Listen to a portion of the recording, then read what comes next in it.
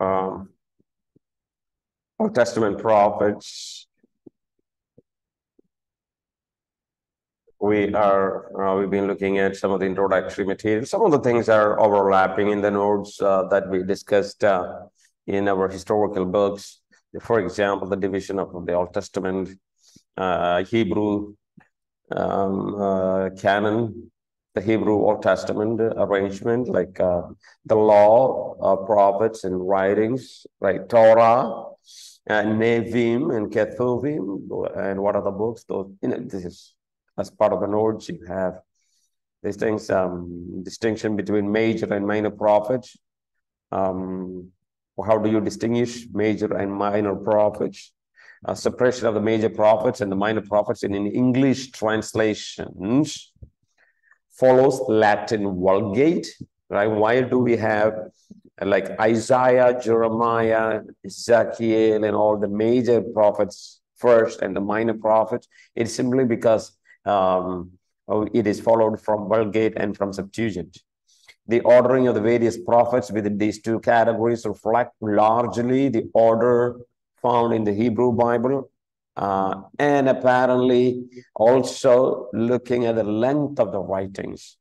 Um, the, you know, how, how the Hebrew Bible is arranged, the uh, books, just like that. Uh, our English Bible also uh, some of them follow the same order, right? And so, uh, for example, if you look at in our English Bible, uh, you have 12 historical books and 17 prophetical books. Uh, 12 historical books, uh, Joshua, Judges, Sam, Ruth, Samuel, first and second, Kings, first and second, Chronicles, first and second, and Ezra, Nehemiah is there. Those are the history. Then prophetical books, you have consider the major prophets like um, according to the order if you look at this is how you see isaiah jeremiah lamentation ezekiel daniel. This fast uh, this five are known as major. Of course we already looked at lamentations part of poetic books but in our english bible it is considered to be major prophets even book of daniel. Then minor beginning from hosea then joel amos obadiah jonah micah nahum Nahum, Habakkuk, Zephaniah, Haggai, and Zechariah, Malachi. So this is the format that you see in your English Bible of the Old Testament. Now, uh, how do we approach classifying the prophets? How do we look at the prophets? Uh, is a is a question to be uh, answered. So, uh, various approaches to classifying the prophets uh, according to the recipients of the message, right? According to the recipients of the message, you can um, divide into this way. For example, yes, uh, if you look at prophetical books are written to uh, six categories of people, right? Six categories. What are those? Number one, Obadiah, that to Adam, Edom, right? The, uh, the book of Obadiah is written to Edom, book, you know, to book of like book of Jonah and Nahum written to Nineveh, and book of Hosea and Amos written to Israel, that is the north northern kingdom. And to Judah, you have good number of people writing Joel, Isaiah, Micah, Zephaniah, Jeremiah, Habakkuk. They're all written to Judah then to the exiles, those who are in the exile, Daniel and Ezekiel. To the returnees, those who came back from exile, Haggai, Zechariah, and Malachi. So that's a way, if you uh, want to know how this book is, you know, uh, maybe classified, how this is classified according to the recipients. Now, if you look at chronology, like timing, right? If you look at the timing, then you will see pre-exilic, exilic, and post-exilic. What are the pre-exilic prophets? Like before Babylonian invasion, invasion, you have Obadiah, Joel, Jonah, Hosea, Amos, Isaiah, Micah, Nahum. These are all, uh, and, and Zephaniah, Jeremiah, Habakkuk, even Habakkuk. They're all pre-exilic. Then exilic Daniel and Ezekiel, post-exilic Haggai, Zechariah, and Malachi. So that is what according to the chronological period, if you look at the prophetical books. Now, you wanted to, yes, you want to know according to the periods of Gentile kingdoms. We want to know according to the kingdoms, uh, during which kingdom which is written. Then you have the first kingdom, Assyrian, second is Babylonian kingdom, third is Persian. So Assyrian kingdom, you have Obadiah, Joel, Jonah, Hosea, Amos, Isaiah, Micah, Nahum.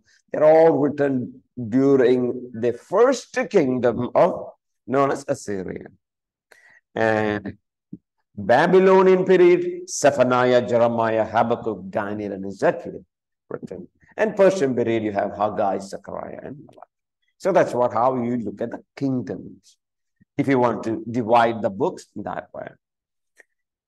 Now, if you want to look at the date, then it is according to the date, if you wanted to look at. Uh, this is the approximate date, not exact, like exact date. Don't think that way. We don't have the exact date, but approximate. Like Obadiah was the first to one, first prophetical books written like 845 BC, that is 9th century. Then Joel, Jonah, Amos, Uzziah, Isaiah, right?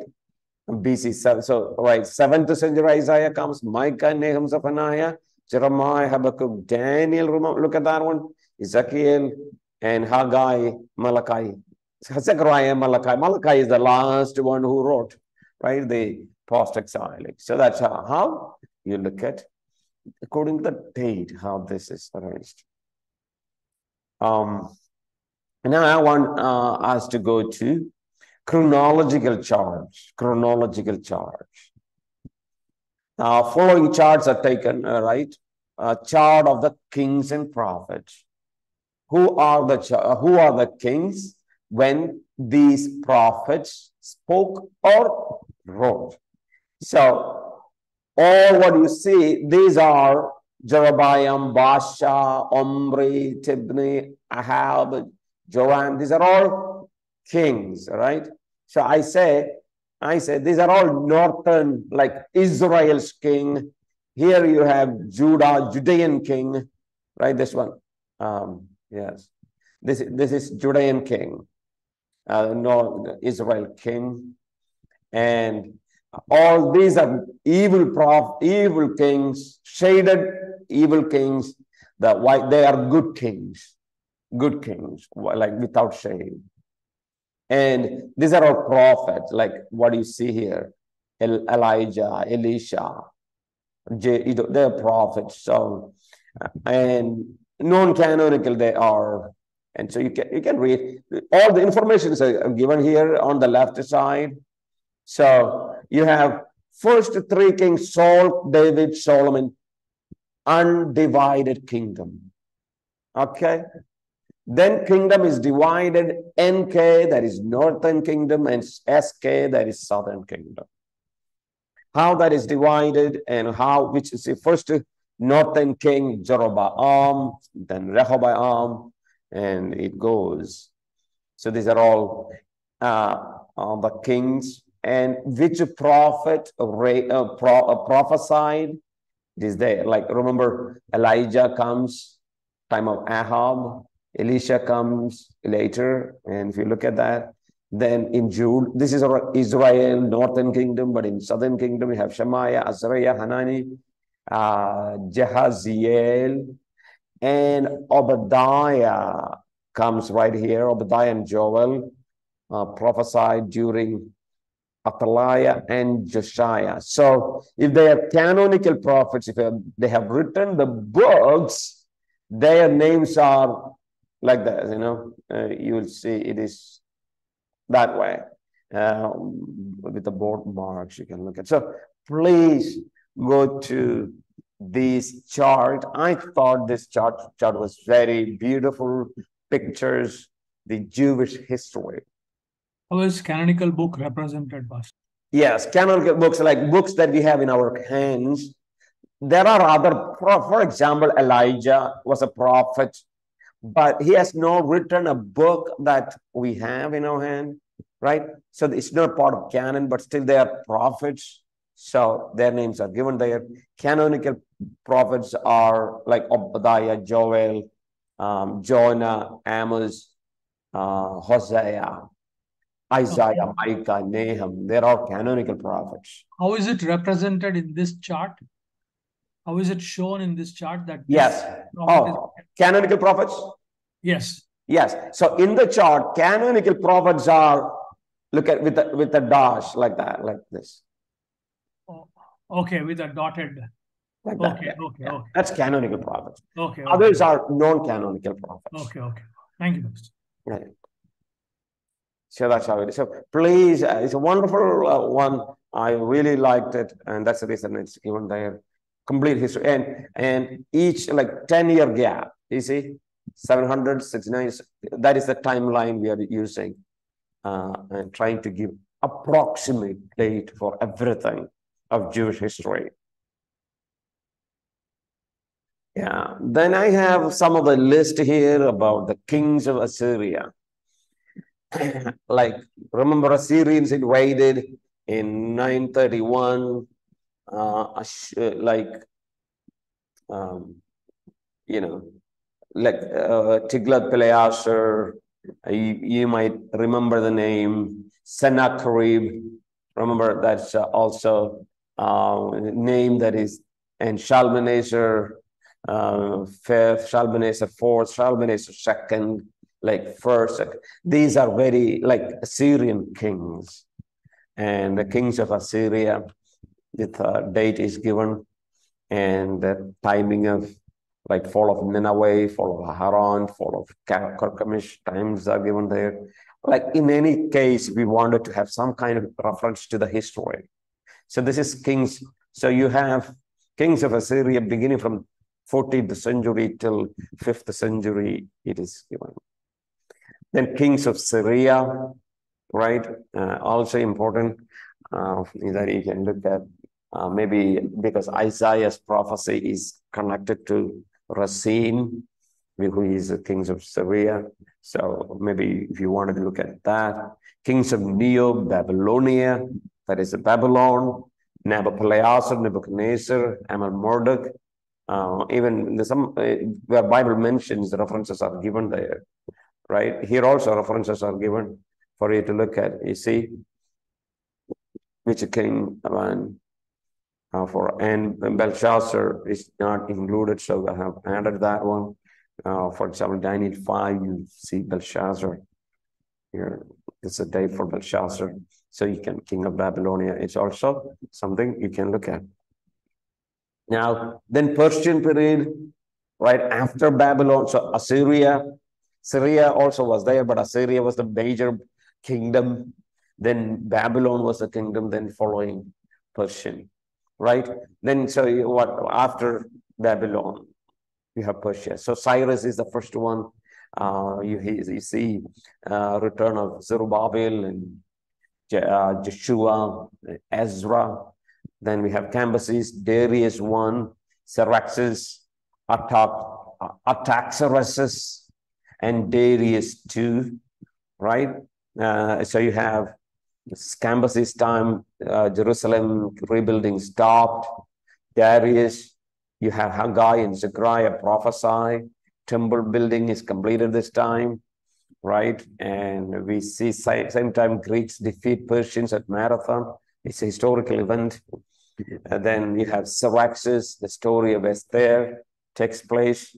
Then Artaxerxes, return of Ezra, return of Nehemiah, and prophecy of Malachi takes place at the time of Artaxerxes, right? Artaxerxes. So uh, this is the golden age uh, known at, at this time, uh, right? So that is something. Then, then you have the biblical silence, right? Persian time, that is Darius, Artaxerxes two, third, third Arses, Darius three, Alexander, Alexander, right? So they- these are all part of Persian, and you have uh, uh, Aden, like Spa- Athens and Sparta. You might have studied in school. Socrates and Plato, Aristotle. They played Philip of Macedon and defeats Greek at um, Chaeronea. That's another one. And Alexander the Great overthrows Persian Empire right here, right? Um, you know, Darius third was defeated and Alexander becomes a king. Establishment of Greek Empire begins. Of course, there is something missed. That is Smerdis in 522. Another, he was also a part of Persian Empire, well, a king. All right. So um, this is another chart for the Persian. Then divided kingdom, uh, you have uh, a divided kingdom, how the kingdom was divided. We'll look at that. Here is Judah, they did the southern kingdom, right? Judah. And then the rest is the northern kingdom known as known as um, Israel. Right? So so the what is you see south is southern southern kingdom. And you have all the all the areas that are covered. If you if, if you look at it, you can see explanations are given there, which is you may not get this chart easily so that's the reason I just put up this one here. Then you can look at uh, Judah and, and Edom you have here, Egypt is here, Moab here, Ammon here. So the moment you wanted to know uh, like uh, when kingdom was divided, uh, how who are ruling, it just um, just gives explanation like you know, all the tribe where their locations were. So yes, so those are the charts for us to know before we delve into the first prophet, that is Obadiah. I, I will send you the rest of the notes this week itself.